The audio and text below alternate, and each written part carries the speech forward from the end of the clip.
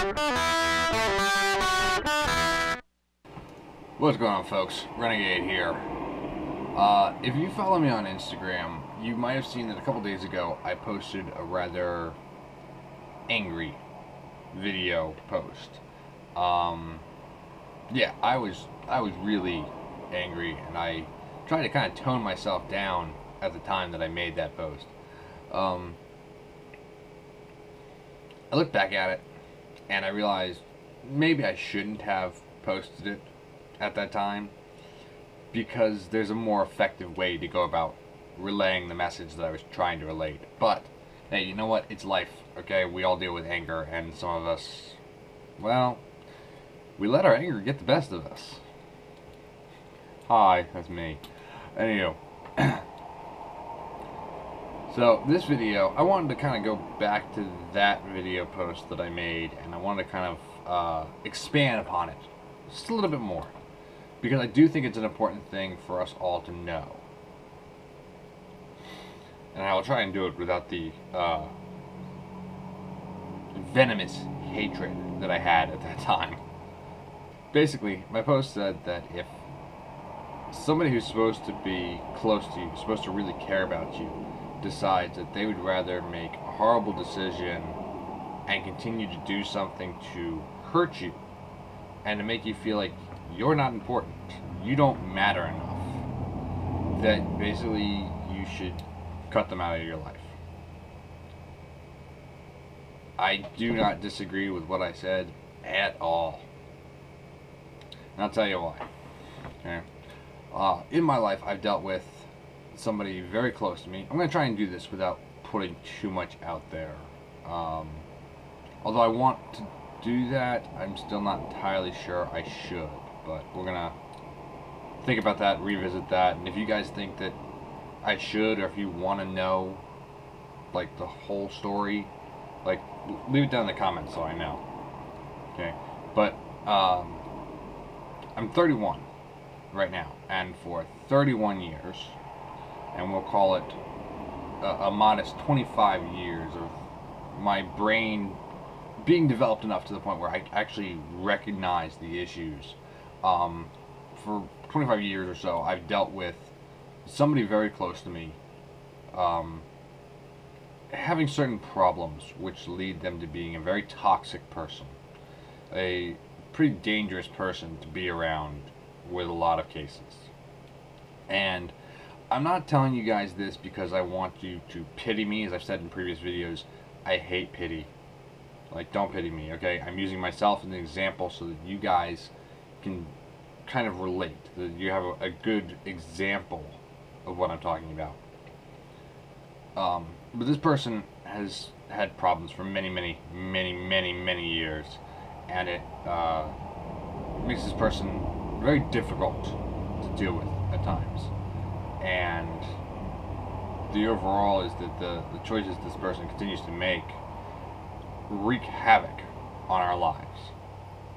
Um, I have a sister who's four and a half years younger than I am. She deals with the same things that I do. And although we both react to things and we deal with things differently, I know that it has affected her just as much as it affected me. Just maybe in slightly different ways.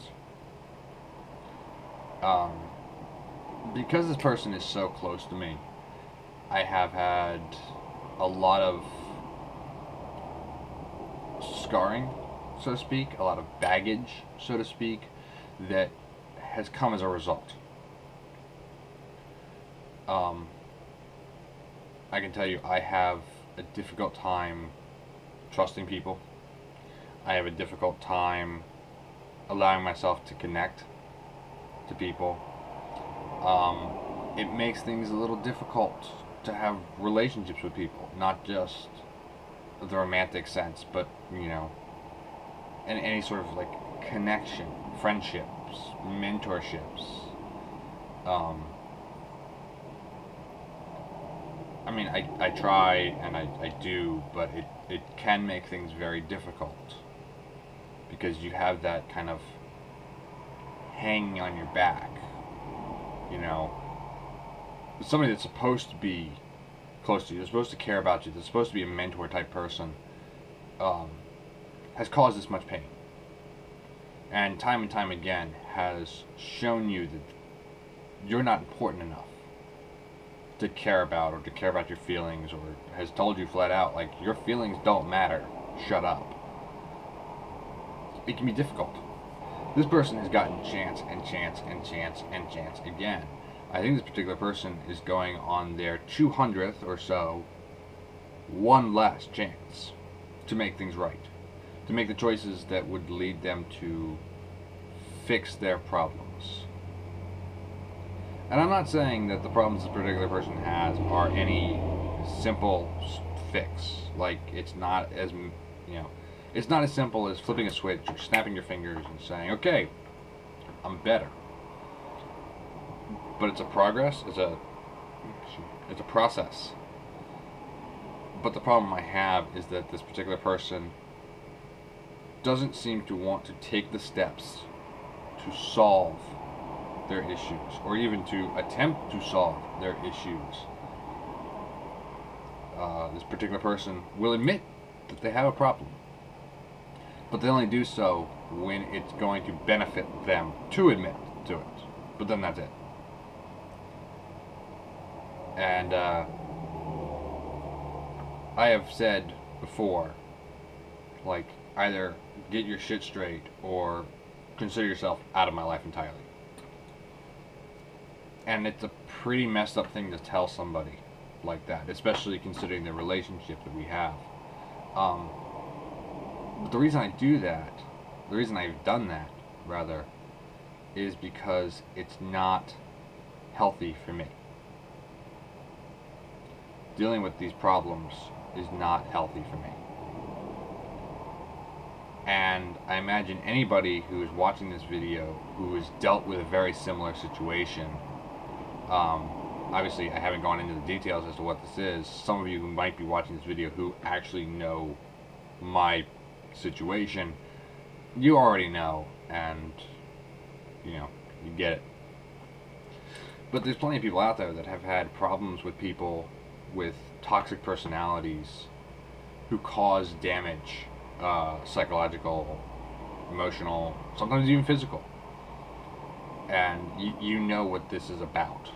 Like you you know this situation. It's ringing a little close to home. So the reason I bring it up is because sometimes in life we are handed a really crappy hand. And sometimes we go through so much that we don't need to there is no real reason why I should have to deal with all the trouble that I've dealt with in my life. There's no reason that you should deal with as much trouble in your life as you might have because of a toxic person. But a lot of times we'll look at the situation and say, well, I hope things get better. Or, well, I can't write this person off because they're a person that's supposed to be so close to me. How can I write someone off if they're supposed to be close to me like this? It's not easy. And it's just making that decision to basically write somebody off from your life who's supposed to be close to you. That alone can wreak havoc on your on your brain, on your emotions. It's important to know, though, that sometimes it is the best choice. I'll give you an example. Alright, again, not getting into any specifics. Uh, over the last week, I've dealt with a direct result from this person's toxicity. Um, things kind of came to a head and there was a fallout and there was a big stress because I wasn't entirely sure what might happen because of this person's toxicity paired with what has happened, what transpired in the last couple days. This was enough of a concern to me that I actually call out of work because I wanted to be around home to protect the house because I'm not entirely sure what this person is capable of when they're in this particular mood. That alone will like really fuck you up having to have that like protector complex. I've had many exes tell me it's a hero complex and it's really bad of me, but whatever. Um but yeah, I was basically on high alert for the last week or so. High alert and on edge because I wasn't sure what was going to happen and I felt I had to be ready at all moments. Like ready to, jump into action to like stop something from happening. And because of that and because of the overall stress of the situation, I wasn't sleeping.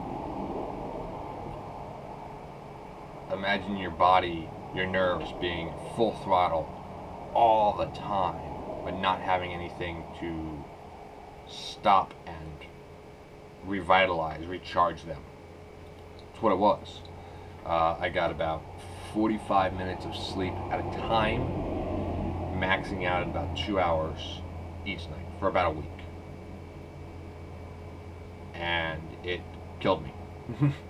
like, not just emotionally, but like drained, drained me physically.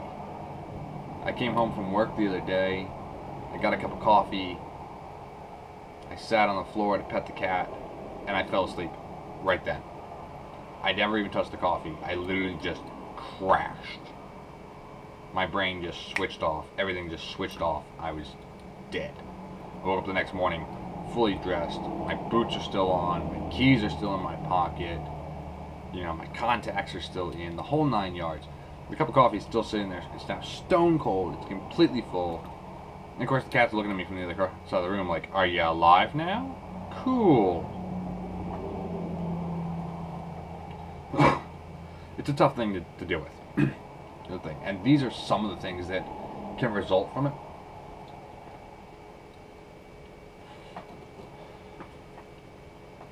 It's crap. It's what it is. It's, it's crap. Pure and simple. But if you're dealing with something like that, you have to understand that. I mean, obviously, yes. You have to understand that from the other person's perspective, there can be very difficult things that they have to deal with. And the tasks might be daunting, or maybe it's something that they're not aware of. But if the person is aware of it, or chooses not to be aware of it, or chooses not to face it, but instead continues to make the choice that, you know, basically shows you you don't matter enough.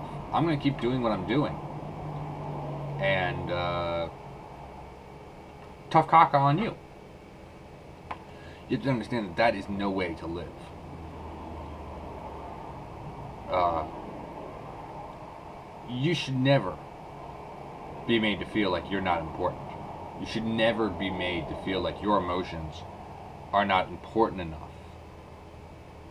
And you should never be made to feel like you're just not important enough for me to care enough to stop doing the harmful things I'm doing.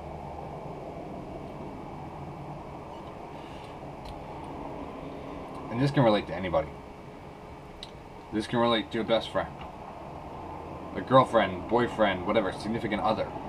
It can relate to parents. It can relate to siblings, aunts, uncles, cousins, family members in general. It can, you know, if you have a close mentor, you know, maybe it's someone you work with, and you have to deal with this situation all the time. It can be problems with addictions, it can be problems with anger management, it can be problems with depression, it can be all sorts of problems. Um, obviously my case is a particularly niche case, but it's something that a lot of people have dealt with. And like I said, I might do a video more about that in depth, but I'm still debating whether or not I should. Um, it's a very sensitive topic to talk about, and I realize that. Um, not just for me to talk about and then put out in the open online, but to talk about in general. Maybe you guys are like me and you don't necessarily talk about it as much as maybe you should. Um, there are a lot of friends who I have that don't know my full story. They don't necessarily know all the troubles that I deal with as a normal baseline.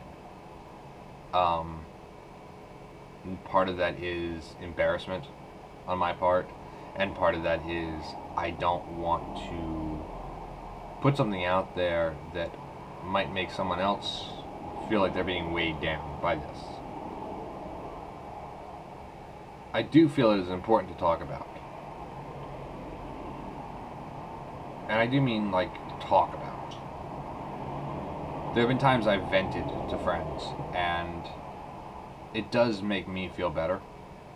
You know, to kind of get it off my chest, to just let it all out. And it does kind of feel like a weight off my shoulders but it also is good to have a discussion with someone about this. I think it's it's a particular topic that doesn't get talked about enough, and it's something we should talk about more. You know, uh, we hear about the particularly nasty stuff in the news. You know, people who have literally abused in a physical harm style abuse and people have finally said, you know, that's it, I've had enough. You know, I mean, right now we're living still in the Me Too era where it's about sexual abuse. You know, people who have abused their power and have sexually abused people, that's getting talked about. And although it's a rough thing to see on the news, and in some cases there are questionable cases, you know, things that don't add up. Um, and let's not get into a discussion about that because that's neither here nor there. That's a whole different topic, and that's a, a, very tense thing to discuss just because of how something can be reacted to. Um, but like we talk about that. We talk about the drastic cases, but we don't necessarily talk about the things that hit close, that affect us on a much simpler scale. And it's something we need to talk about more.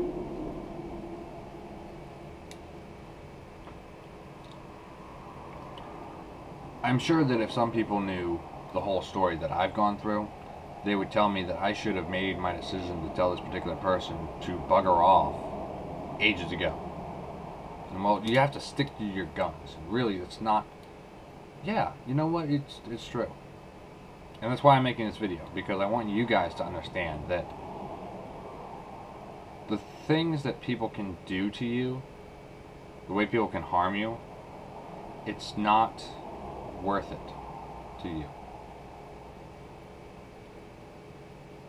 If you deal with something like that for long enough, if you deal with somebody continuously hurting you, whether it be physical, emotional, psychological, whatever,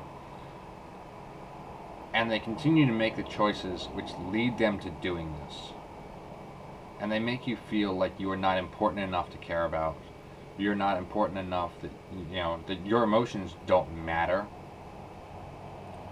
Or my favorite, you know, you can have those emotions, you're justified those emotions, but you just can't express them because whatever reason, I still don't understand it. These things are major problems. And it's not something you should ever have to put up with. And if that means that you have to make the conscious choice to cut someone out of your life because it is unhealthy, you should not, A, feel bad about it. Because in the end, one of the main things about life is you have to look out for number one. I know, I'm always quoting Randy Bachman. you have to look out for your health, your wellness. So you shouldn't be made to feel bad about it. Number two, or B, I don't remember. I never do. Sometimes it's the best choice for you.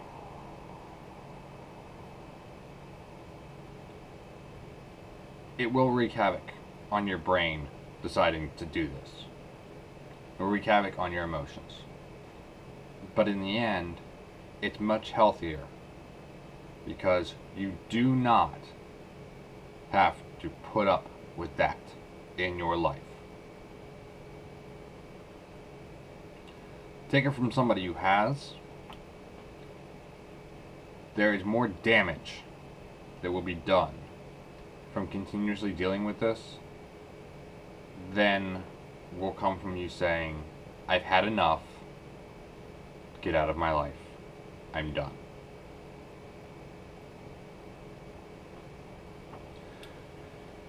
Obviously, this is a heavy topic.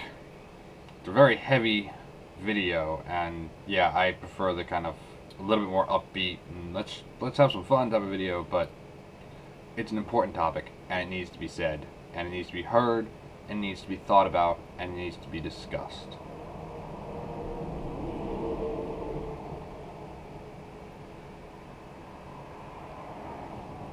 Takeaway from this video don't let yourself continuously be the victim. It's not healthy for you. Don't be afraid to walk away from a nasty situation. And don't let anybody make you feel like you're making the wrong choice. Keep looking out for number one. That includes your health, your mental health, your physical health, your psychological health, the whole nine yards. It's very important. And if you don't do it, you'll end up with a lot of baggage and scarring that will make life more difficult going down the road.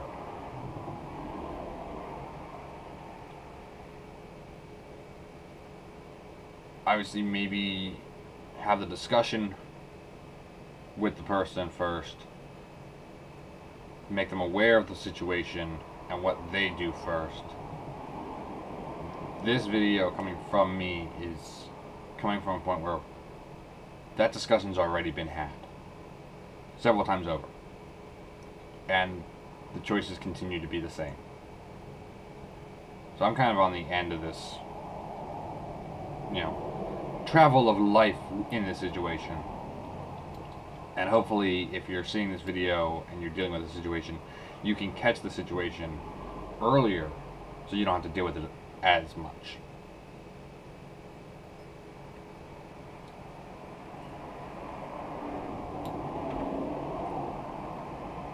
Like I said, it's an important thing to discuss. It's an important thing to know.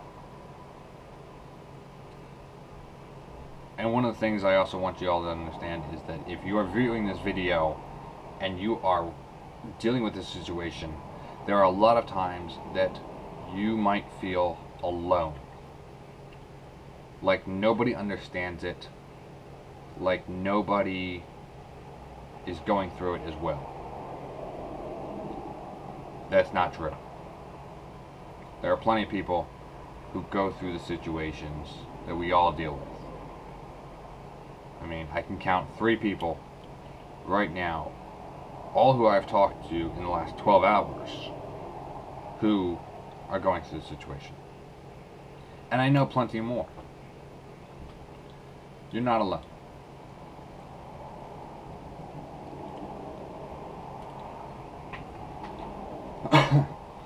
So in the comments, if you're dealing with a situation like this and you want to talk about it, please feel free. Leave it in the comments.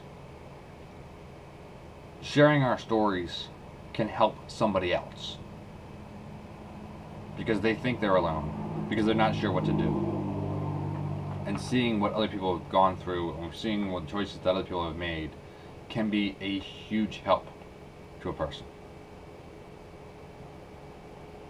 And I hope if you're dealing with a situation like this, or better yet, if you know somebody who is dealing with a situation like this, I hope you share this video. Not because I want views, not because I want, you know, the YouTube algorithm to love me, but because I think this is a very important message to, to spread. That it's okay sometimes to cut ties and walk away from a potentially dangerous situation. And if you're dealing with the same thing, or if you have dealt with it, or if you know somebody who's dealing with it, and if you appreciate the fact that I'm putting this out there for, you know, hopefully people to, to hear, do me a favor. Give this video a thumbs up, at least so that I know, hey, at least this person, you know, any person